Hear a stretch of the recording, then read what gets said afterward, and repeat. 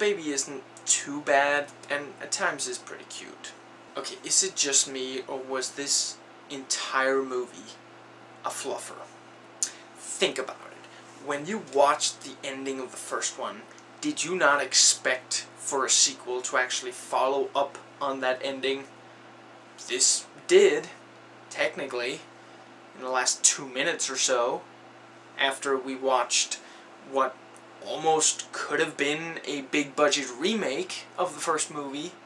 So yeah, I'm gonna be spoiling the ending of the first movie here because I can't talk about the ending of the second movie without doing so. So after the demon possessed Katie and satisfied its hunger for cameras, it went and picked up Hunter the baby after killing the two parents.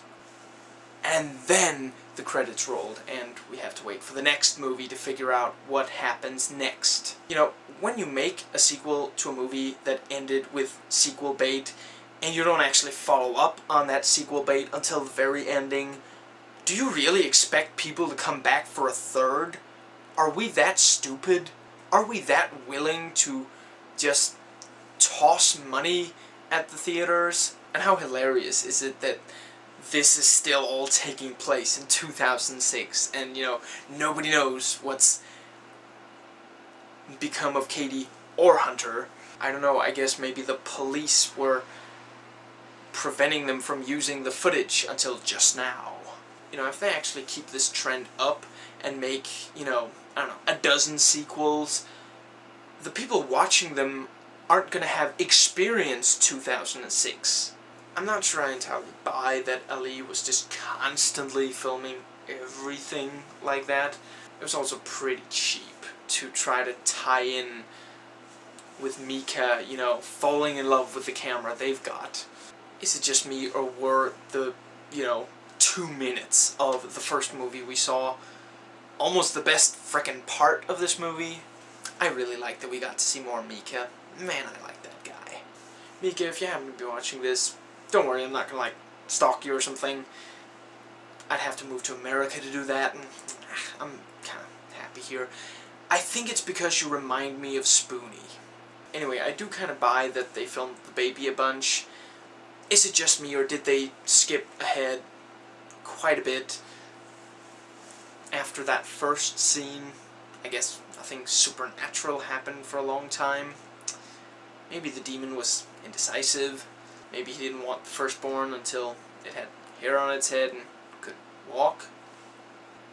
I guess it is probably for possession that this demon wants the baby, maybe for the devil himself, and I can't imagine a less dignified physical manifestation of the Dark Lord than a child that isn't even old enough to stand, so yeah, maybe that's it the bit with the static and the television was kind of okay.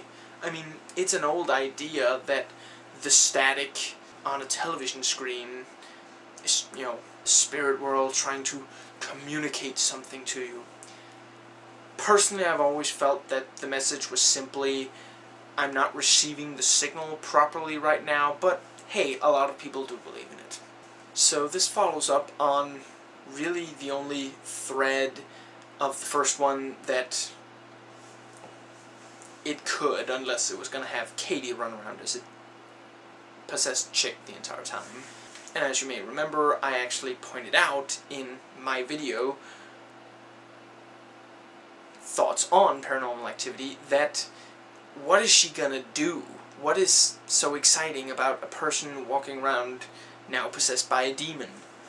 It just isn't that interesting to me. The idea that she might be is interesting and creepy and tense, but once she is, what is she gonna do? I mean, it is maybe a little more interesting now that she has, you know, the firstborn boy.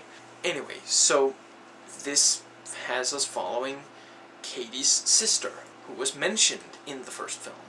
And her husband tries to deflect the demon. Nice going, dude.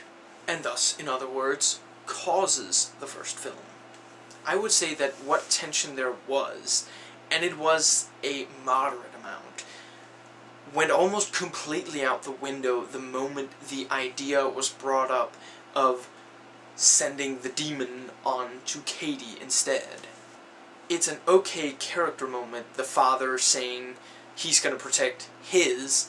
You know, there are people like that, and a man who's the head of a family might do drastic things to keep his family safe.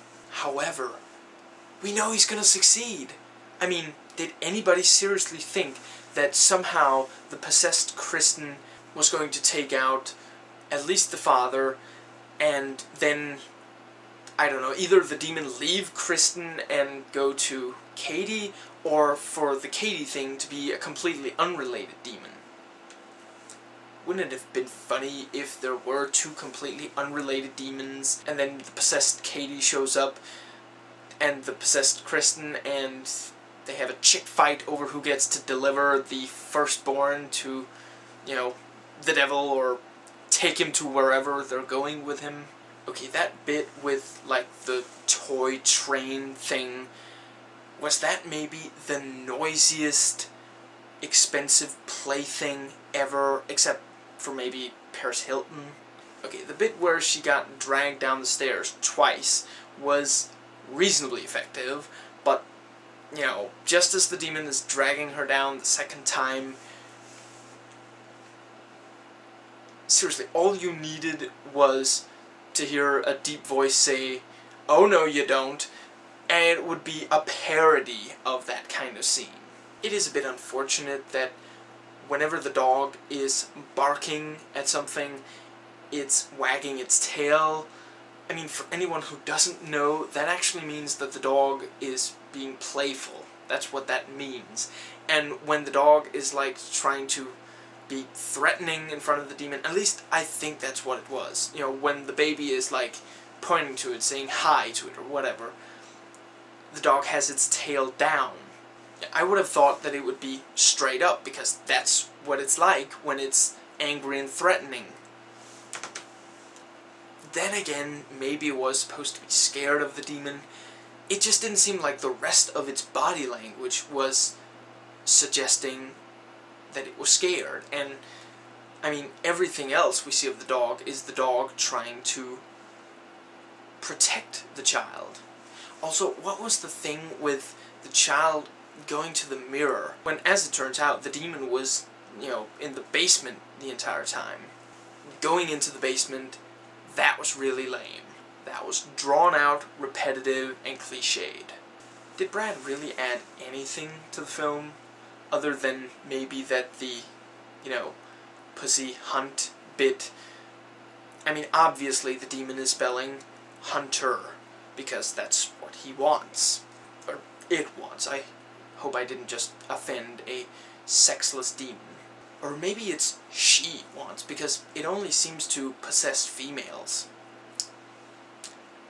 Is it maybe a demon who doesn't feel entirely comfortable in its own skin, in its own gender? Is the demon Eddie Izzard? This did have some pretty decent jump scares, though. I think everybody in the packed theater that I was in jumped when the kitchen erupted into chaos for that split second. I do think that the whole demon wants a firstborn idea is a pretty good way to follow up on the first one, and while it only properly followed up on the first one at the very end, because everything else was just repeats of what happened in the first one with a different cast, and then, you know, the backstory details, but it was a decent enough way to follow up on that. I could imagine that a lot of people are going to walk out of this pretty disappointed, though, that it didn't follow up on it any sooner. And at the end of the day, do we really need someone to tell us how it proceeds after the end of the first one? Isn't it a million times more interesting for all of us to have our own idea of what actually happens after that point. You know, the whole point of, you know, the whole point of these, especially of the first, was to use our imagination to make that part of the movie going experience in a time where, especially American movies, spell everything out. The reason why we revisit great movies is the creativity and the imagination. Part of that comes through in storytelling and the story itself, but some of the greatest horror and thriller films ever made force you to use your own imagination to fill in blanks. Just because we can show everything, or just because we can do anything, doesn't mean we should automatically do it. We should always think about why we're doing it. Those were my thoughts on Paranormal Activity 2.